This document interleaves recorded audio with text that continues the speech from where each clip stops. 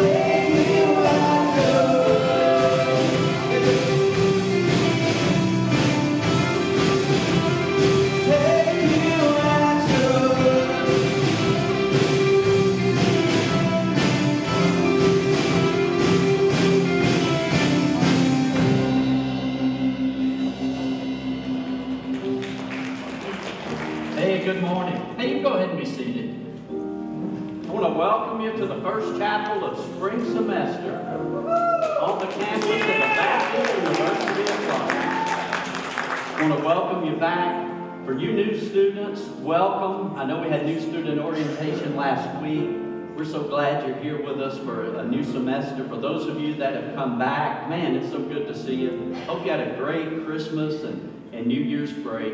Hope you're excited for a new semester here at the Baptist University of Florida. Hey, let me make a couple of announcements and then we're going to pray, turn it back over to the praise team this morning. First, as we begin a new semester, let me remind you guys about the chapel requirement and Impact 180.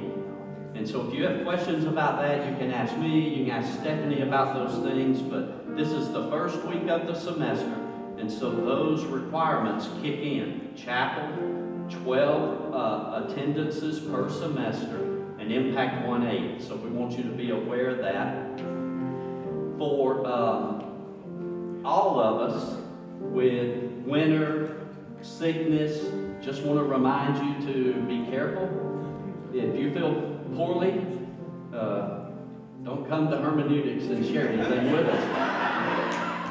But I'll make sure you get notes. Uh, if you make sure I don't get anything from you. uh, I say that kiddingly, but you guys know how quickly things can go around. If you're feeling poorly and we can do anything for you, let us know. But we do want to pray. I know we've had some faculty members that have battled illnesses.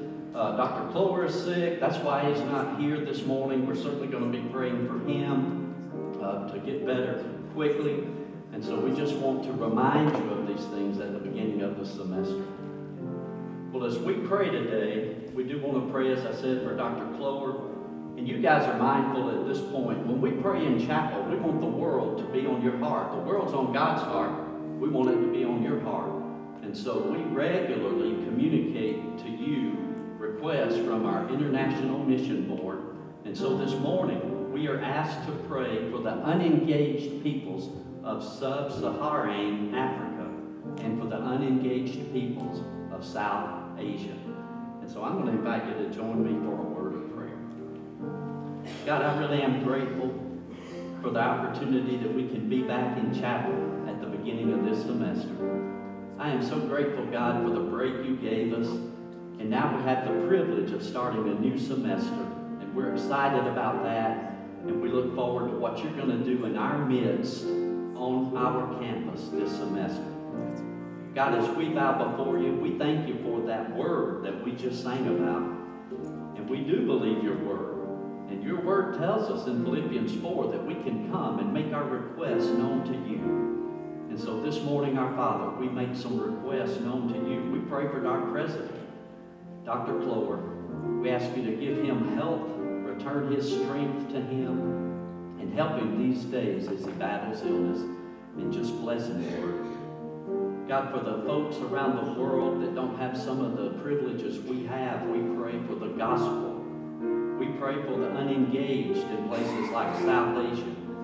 We pray for the unengaged in places like sub-Saharan Africa. And God, we pray for a light to be able to go in places where there's darkness. And we pray, God, for your message, the message of hope, the message of Jesus, the message of forgiveness to be proclaimed. So we pray these things this morning. God, as we turn to you now in worship, may your name be lifted up. May you be exalted. And may Jesus be magnified today. This we pray in Jesus' name. Amen. Amen. Let's go ahead and stand to our feet again. As we worship the Son of Suffering, Christ crucified, we remember what he did for us on the cross. There is no greater love than he who laid down his life on our behalf, that we wouldn't have to endure the death that was due our sin. Come on, let's just worship right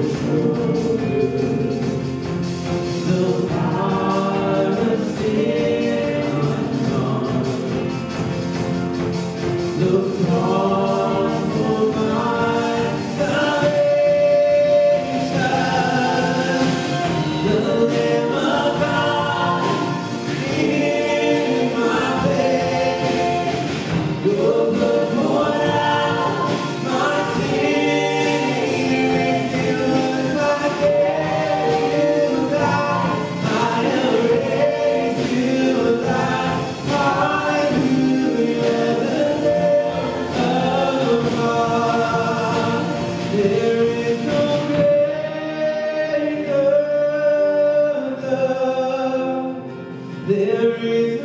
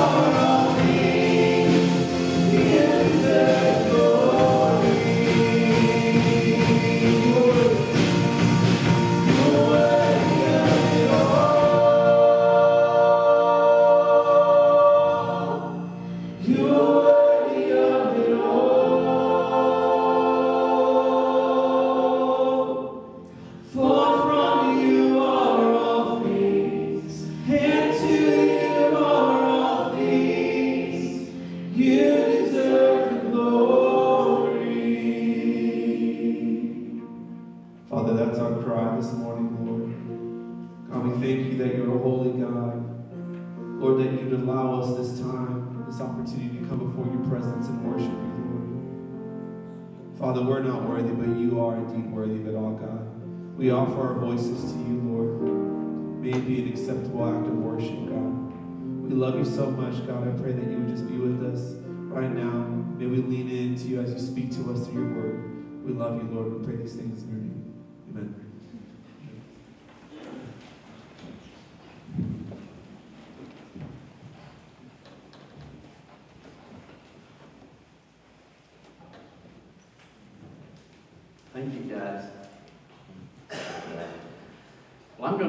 This morning to take your Bibles and turn to the New Testament book of 1 Corinthians. 1 Corinthians chapter 10. While you're turning there, isn't this new podium nice? oh, man. What a privilege to be here, uh, be able to preach behind this thing. Uh, well, while you're finding 1 Corinthians chapter 10, I don't know if you recognized it or not, but even before Christmas, shortly after uh, Thanksgiving, Thanksgiving, uh, the, the ads started on TV, didn't they? Uh, ads for a new year and a new you. Ads for you can lose this much weight by this date. Jenny Craig's offering a sale. And just on and on and on. Now you can download apps, and the apps will tell you exercises you can do uh, for so many minutes a day, and in 28 days, you'll look like this. Uh, I've got one of those apps. And I'm going to start looking at it in about a week. See if it'll help. No, I'm just kidding. I didn't download one of those apps. Uh, but other things that folks try to encourage us to do. You're coming to a new year. You hear people talk about New Year's resolutions and uh, apps to help you keep up with your resolutions, apps to help you do this. And I don't know about you, maybe you're uh, an individual that sets New Year's resolutions. I don't necessarily do that. I don't think it's a bad thing. I'm not trying to say that. But I had just, I, I just know what I'm like. And in the past, it's been difficult for me to set resolutions and just kind of maintain them. And I usually end up disappointing myself more than I help myself. But I will say this I do get kind of pensive at the end of a year, and I do try to think back over the past year and think, okay, what are some things I would have done differently? What are some things I wished I hadn't have done, I had, hadn't done at all? Are there some new things I might want to do this year? And so I find myself in a little more pensive mood or, or mindset as I head into a new year. Uh, I was doing some research just out of curiosity looking into this, and on Forbes magazine, Forbes Health online, they did a survey uh, late last year of about a thousand people. And of those thousand people, 60% of them who responded to the survey said they felt pressure to, to make New Year's resolutions. Uh, pressure to, to set some goals, pressure to set some uh, targets, uh, just pressure to do those things. I don't know if you've set any New Year's resolution. Uh, if I did set one, I bought a journal and I thought, you know what, I'm going to journal more this year because I hear things about journaling. I kind of like to write anyway. Uh, and so that journal is still on my table. and uh, I'm going to unwrap that thing soon. Uh, but I don't know if you're a, resolution setter or you think about those things, but here, here's what here's what I'm really beginning to think this year and what I'm focusing on this year. I, am not setting a resolution, but I'm trying to foster or create a mindset. And the mindset I've actually developed from my reading of 1 Corinthians chapter 10, verses 31 and 32. And so look at those two verses with me, and here I'm going to read these verses, and then I want us to think about three concepts that the Apostle Paul gives us here that'll help us to foster a mindset, interestingly enough, of what we just sang. A reminder that God deserves the glory. Now, these verses, I think, you'll, you'll recognize once I begin to read them, and, and I want you to encourage you to look along. Here's what Paul says, 1 Corinthians chapter 10 and verse 31. So, whether you eat or drink, or whatever you do, do everything for the glory of God. Give no offense to Jews or Greeks or to the church of God. Now, this is not necessarily a part of the message, but I'm struck by verse 32. Give no offense to Jews or Greeks uh, or to the church of God. I know, I know different people have different mindsets about church or what they think about the church.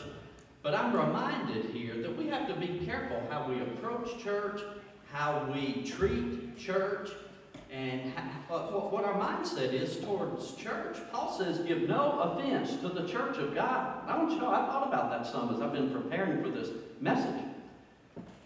The New Testament says that the church is the bride of Christ, right? And when I think about this verse and I think about that concept, the church being the bride, I'm reminded if you mess with the bride, you're going to have to face the groom. One day. And Paul gives the believers in Corinth a reminder. Give no offense to the church of God. Well, that little tidbit was free. It's not a part of the message, so let's move to the message.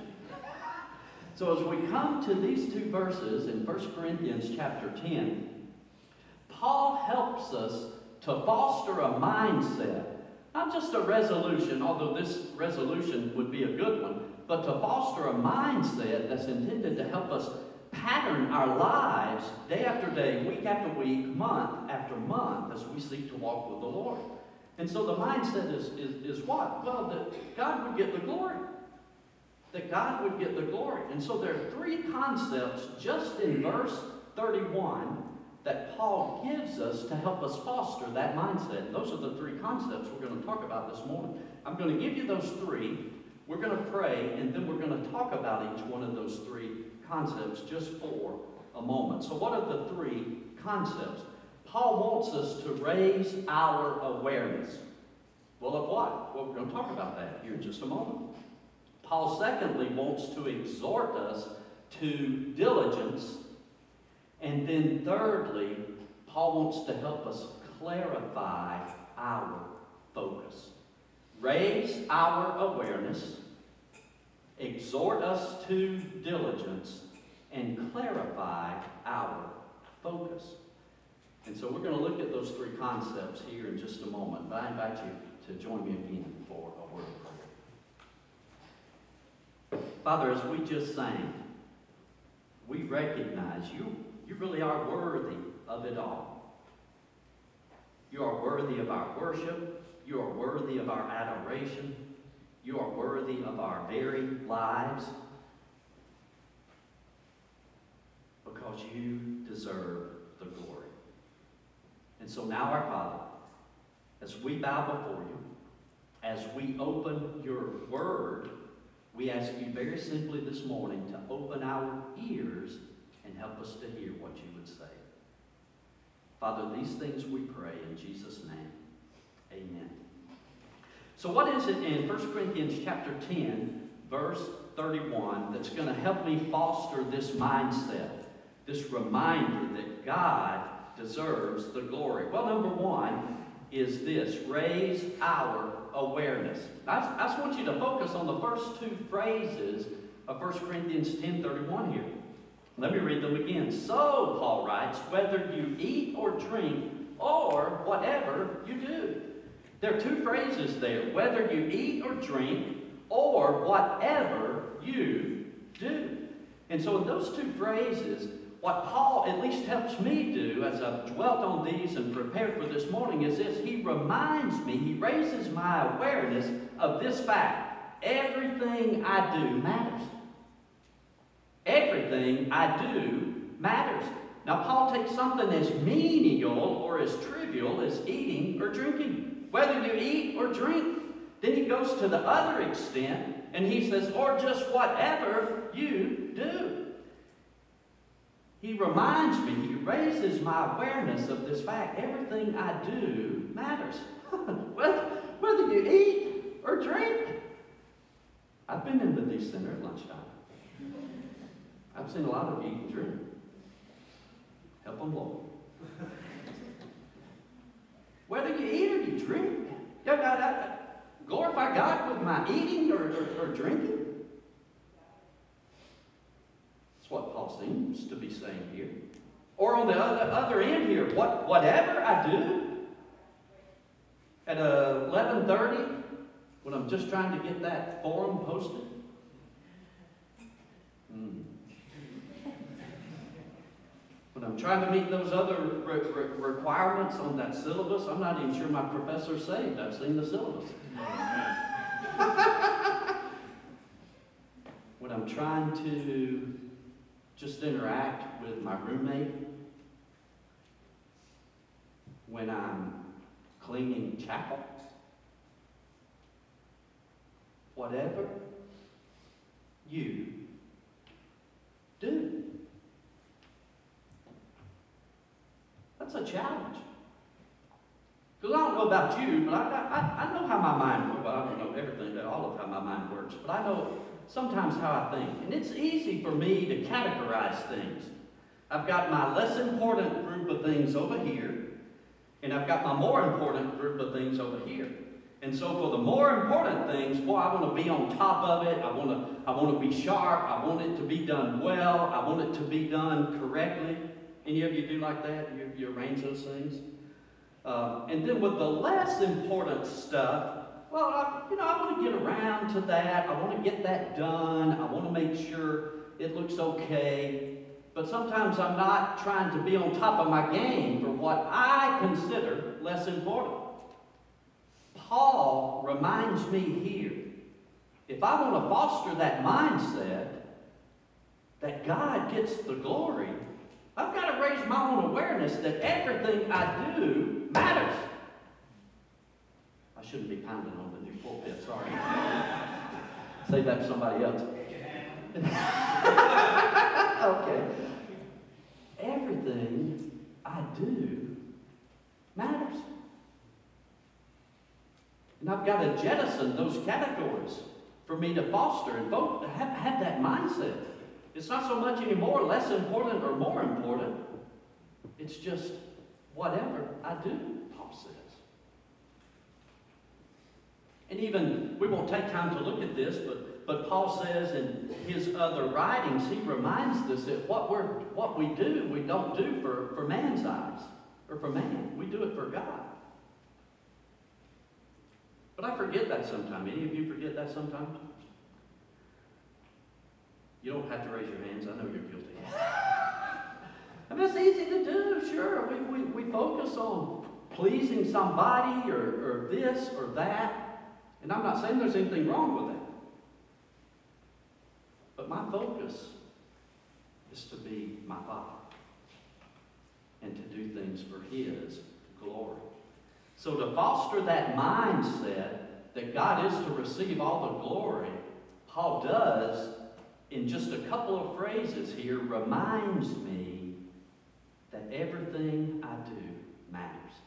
He helps raise my awareness of what it means to walk with the Father.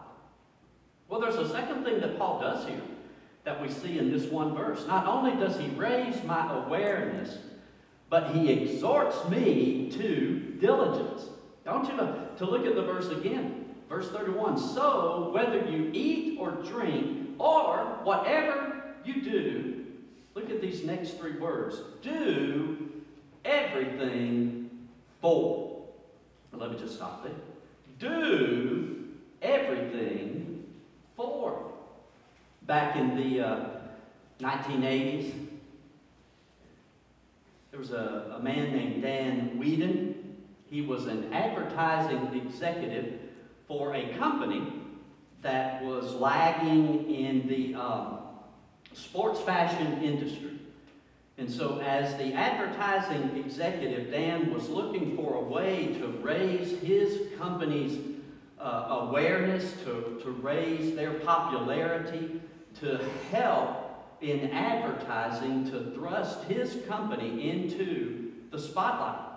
And so, as Dan worked for this company, he developed in the late 1980s a three word phrase that launched his company to the top of the sports fashion industry. That three word phrase was just do it. And the company was what? Nike. Yeah, absolutely. So that phrase came around late 1980s. okay, I just heard that. Sorry. No, it was Nike.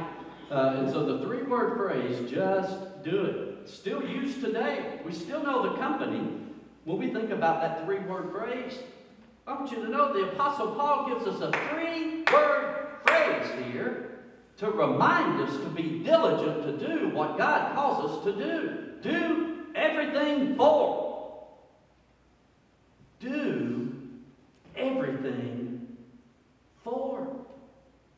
Now, if we had time, we could just begin to survey Paul's letters. Paul's letters are replete with action verbs. It, it, it's almost as if um, Paul really believed that Christians ought to live out what they say they believe. It's a novel idea. That actually ought to, they actually ought to practice what the Word says. If we could think about just uh, examples off the top of our head, Paul says numerous times in his writings, walk, walk, walk in a manner worthy of the Lord. Walk in a manner worthy of your calling. That verb walk is an active verb. Paul says on other occasions in his writings, practice the things that you have seen and heard in me. Practice. Paul's writings are full of active verbs because Paul believed we should be practicing. Paul believed we should be doing. Paul believed we should be honoring and walking with the Lord. And that is to manifest itself in our. And so Paul says here to the believers in Corinth, whether, whether you eat, whether you drink, whatever you do, do everything for. And boy, what a reminder, by the way, to the believers in Corinth. Many of you know about 1 Corinthians as a letter. Paul's letter to, to, to the church where he visited the city of Corinth on his second missionary journey. If we had time, we could go to Acts chapter 18 and read about Paul's time there. Uh, Paul went to Corinth, encountered some difficulties in the initial phases of his ministry there, and apparently considered leaving Corinth after a short time. And when you read Acts chapter 18, Luke tells us that God came to Paul at night in a vision. And God said to Paul, Stay there, I've got many people and we're told in Acts chapter 18 that Paul stayed in Corinth a year and a half. And based on the information we have in the New Testament, that's the longest time Paul stayed in any of the cities he visited outside of Ephesus. And he spent nearly three years in Ephesus. And so Paul writes to a church that has some difficulties. You, are well aware of that. And so Paul has already worked through a series of difficulties in this letter, and he comes to chapter 10. And when he gets to chapter 10, he wants to remind them to do everything for. Whether you eat, whether you drink, whatever you do. Do everything. Paul exhorts us to diligence. Just do it. Well, there's one final thought here in this one verse that's intended to help foster in us a mindset of glorifying God. So first, we've already seen what does Paul do in the first part of the verse. He raises our awareness. Listen, everything we do matters. Secondly, Paul reminds us and exhorts us to be diligent. Thirdly, and finally, Paul helps to clarify our focus. Now look with me again at the, the last part of the verse. Do everything for what? The glory of How's that for some focus? Do everything for the glory of God. Now, Paul's pretty good in, in, in other places in his letters writing and, and helping us get a sense of his desire to honor the Lord, his sense of uh, desire to walk with the Lord. Again, if we took time, we could go back to Philippians chapter 3 and, and not go back, sorry, go forward to Philippians chapter 3 and think about Paul's own words as he writes to the believers there in Philippi. And in Philippians chapter 3, Paul says to the believers there, this one, th- one thing, one thing I do. Forgetting what lies behind, reaching forward to what lies ahead, I press on towards the mark of the upward call of God in Christ Jesus. That's the one thing Paul does. Presses on towards the mark of the upward call of God in Christ Jesus. How's that for focus? One thing I do. Here, Paul reminds the believers in Corinth whatever you do, whether you're eating or drinking. By the way, I'm not going to be in the D Center today watching you. whether you eat, whether you drink, whatever, whatever you do, do everything for the glory of God. He helps us, Paul helps us clarify our focus.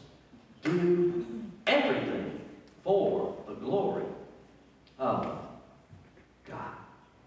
So as Paul seeks to help us, not necessarily maybe uh, set a resolution, although a good resolution would be, I'm going to try to do everything I do for God's glory. But my encouragement this morning is not just let that be a resolution, let that be a lifestyle.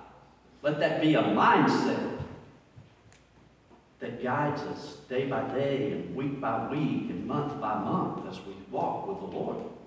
And to develop and to, to foster that kind of mindset, Paul, in one verse, gives us three components. He helps raise our awareness. Everything we do matters. He helps exhort us to diligence.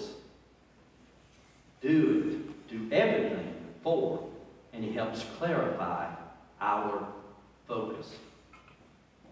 Do it all for the glory of God. Well, I close with a, a, an illustration. I did make a joke earlier about a, a journal. Um, but I did something this year at, at Christmas that I've, I've, never done before. And I wrestled with it. I have, uh, my wife and I have four children. They're all grown. Our oldest is also our only son. Uh, he just turned 32 in December. And then we have three daughters, and the youngest of the daughters is um, 27. Took me a minute. And so, you know, they're grown, out doing things in the world. And, and I had this idea early in December. I thought, you know what, I'm going to buy each one of them a journal. And in the front page of the journal, I'm going to write them a little note. And I'm going to hand those things out on Christmas Day. If they don't, if they don't write anything in the journal all year long, they'll at least have a note from their dad that says, I love them. I'm so stinking proud of who they are. And I wrestled with that because I thought, they're, they're grown kids. What are they going to think about that?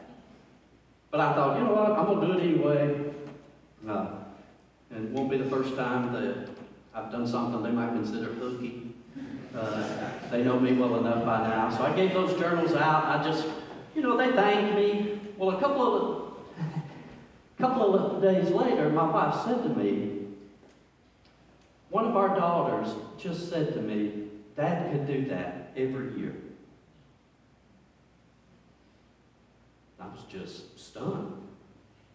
That reaction I didn't expect, especially not from that daughter.